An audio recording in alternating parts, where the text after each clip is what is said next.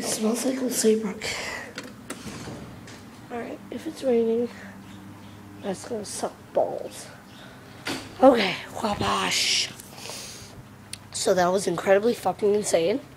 I think they did. I'm sorry if you can't see me. I can't even see myself. Yes, you can see me. I just had to look in the glass a minute. I think what they did is incredibly fucking insane. You saw for yourself. I'm I'm usually used to um familiar surroundings.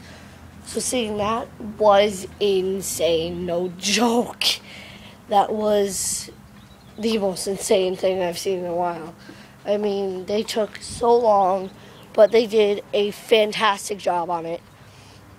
Like, no joke. I'm gonna make sure I didn't stop recording.